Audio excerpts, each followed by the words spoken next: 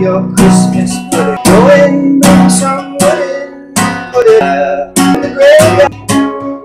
Arise, Sir Thomas, from your Christmas pepper deserving oil. We have all been waiting for 90 generations till you up from your slumber to this mortal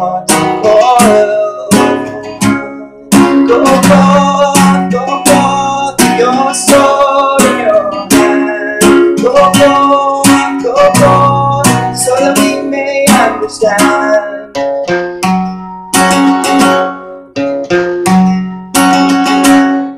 Arise, King Rudolph, so that we can see you. Our eyes are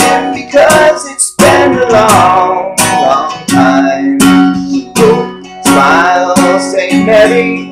We hope that you're with us. We hope that you'll forgive us stepping out fine.